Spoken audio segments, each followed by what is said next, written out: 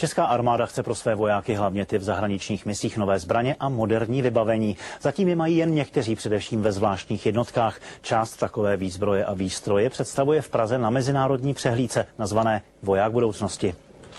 Být neviditelný, vidět ale vše kolem sebe. Úkol pro vojáka 21. století. Už teď tuto výhodu někteří čeští vojáci v zahraničních misích naplňují. Moderní vybavení ale nemají všichni. Armádní velení to plánuje změnit. Už to není uh, klasický oděv maskovací, ale je to například oděv digitální, spousta komunikačních a informačních technologií. To znamená třeba odlehčené neprůstřelné vesty, výkonné osobní rádio, navigací GPS a hlavně kamerový systém. Kromě radiostanice bude mít samozřejmě samozřejmě terminál, který buď opticky, anebo zvukově bude schopný předávat informace od nadřízeného a opačně voják bude moci nadřízenému automaticky předávat svoji pozici. Kamery by mohly vojákům zajistit například i to, že by se při boji nemuseli ukazovat a měřili by jen prostřednictvím obrazovky. Například izraelský systém už využívali američtí vojáci v Iráku. Na prvním místě pro toho vojáka není zbraň a její schopnost vidět za rok, ale je průhledový displej, který mu říká, jaká je situace. Do výzbroje vojáka budoucnosti chce armáda i nové zbraně, útočné pušky, granátomety, kulomety, odstřelovací pušky i pistole.